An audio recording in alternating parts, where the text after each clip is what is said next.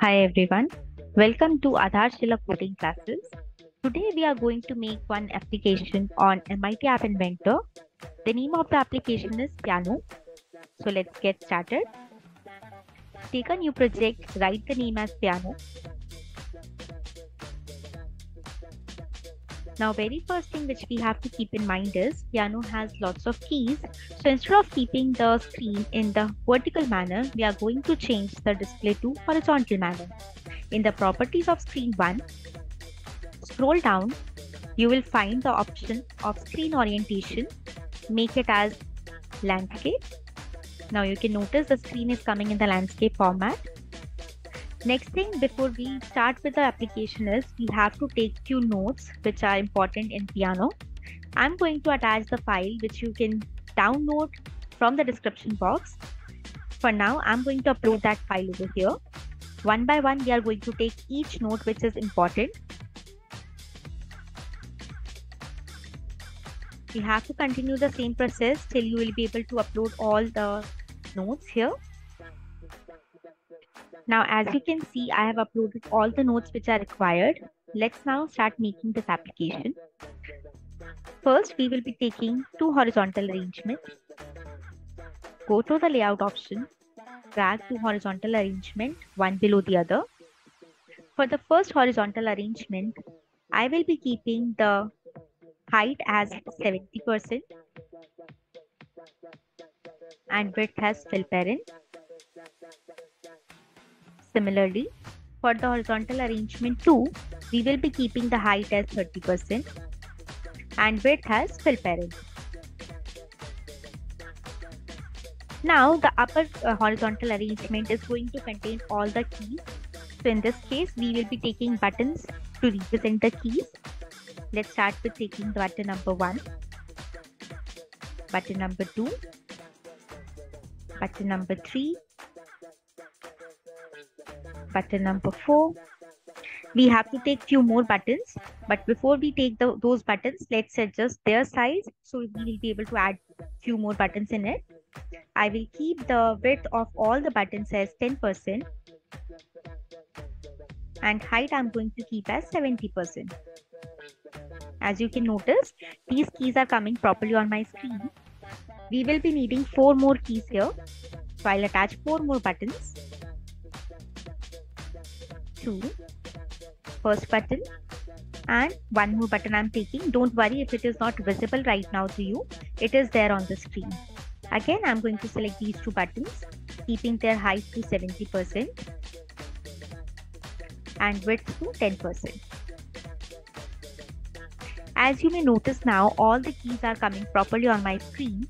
Now we will be changing the alphabets or the name of the keynotes on each of them I'll start from the first button.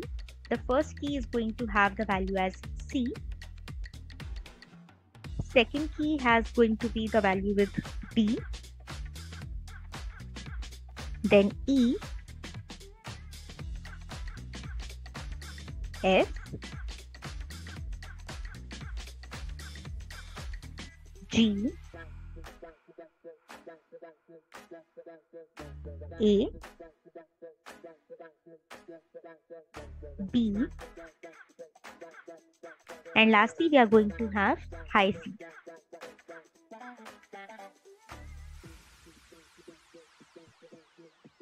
After taking all the alphabets on my screen, now whatever properties I'm going to do, they are going to be similar. So I will select all the buttons,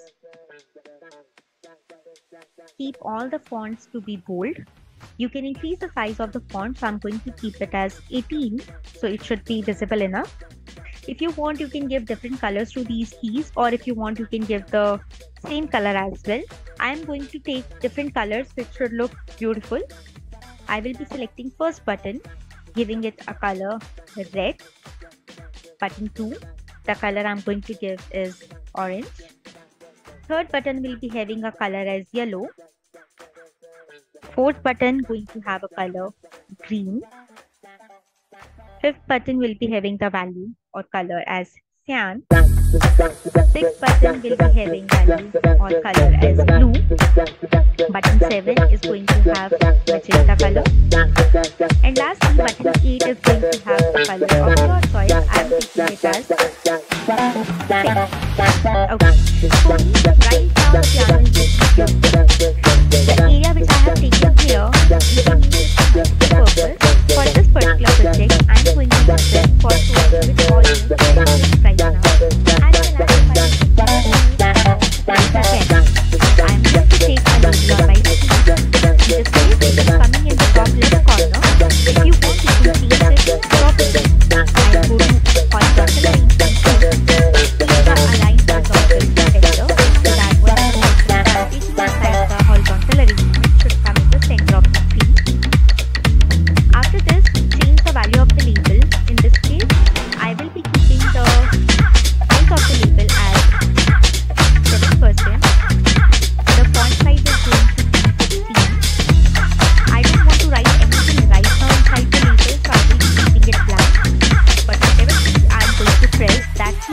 coming on my screen as well in this label. If you want, can keep the font bold.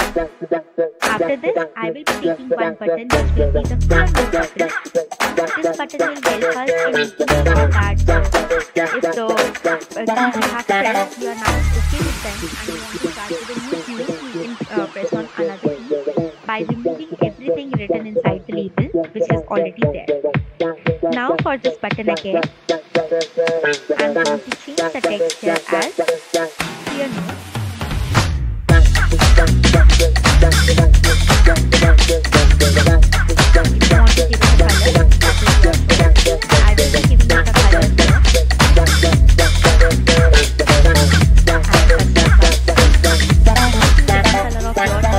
If you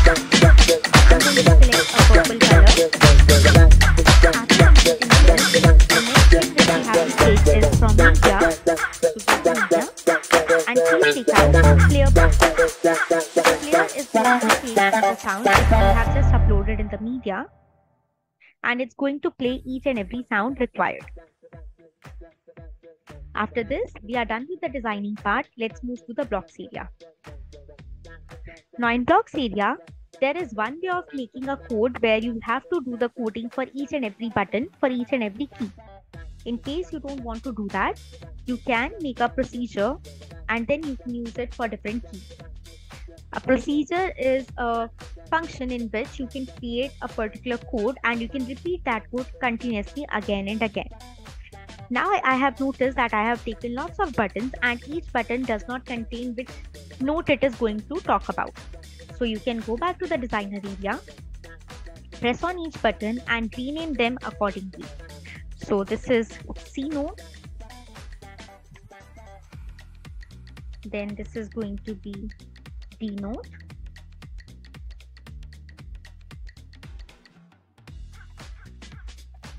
This is going to be E note.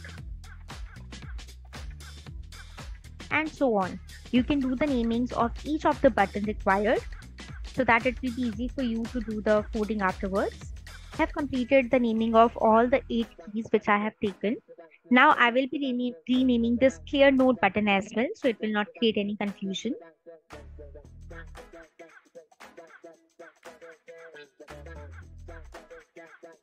We are done with the naming part. Let's go back to the blocks area and start doing the code. As I have mentioned earlier, we can create a procedure. So I will go to procedures, take out a procedure. In this procedure, I will be giving it a name as play notes.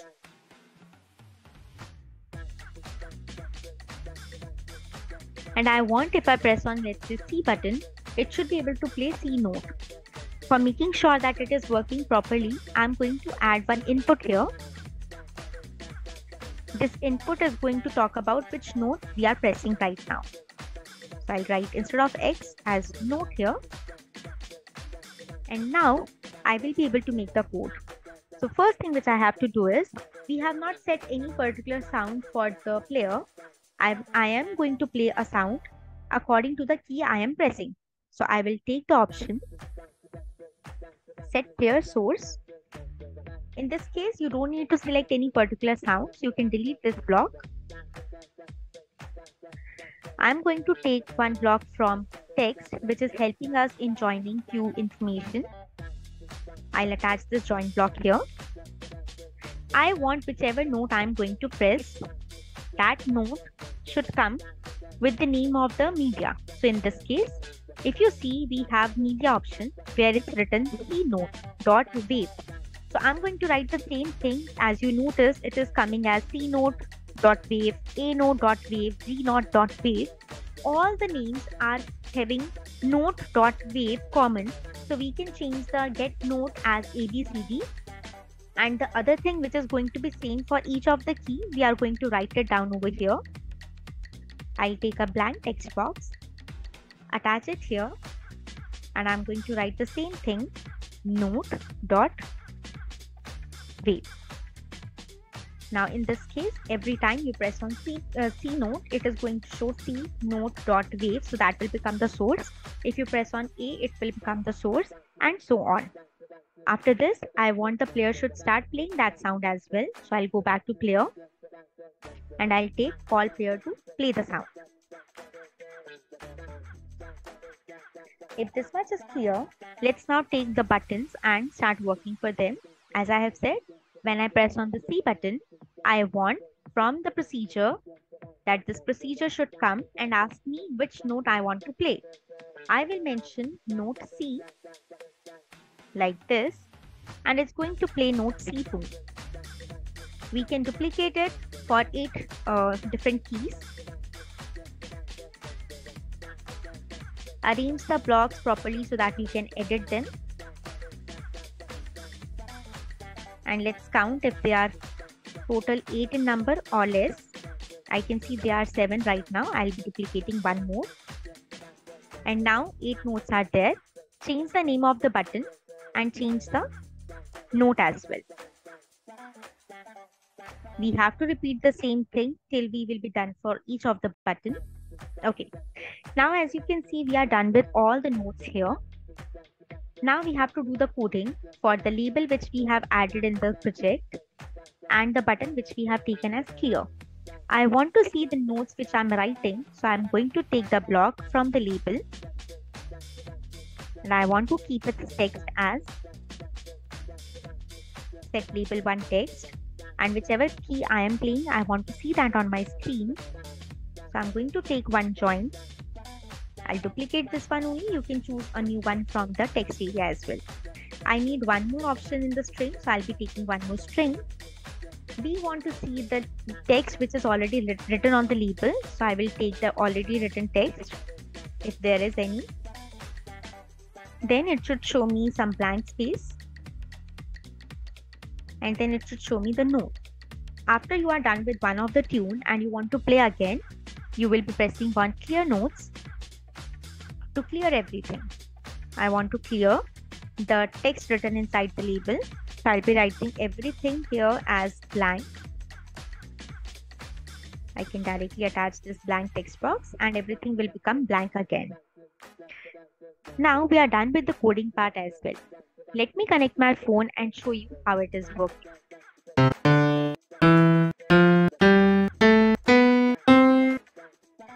As you have seen the results, it is working really nice. If you like this application, please like, share and subscribe to Aadharshila coding classes. See you in the next video. Till then, bye.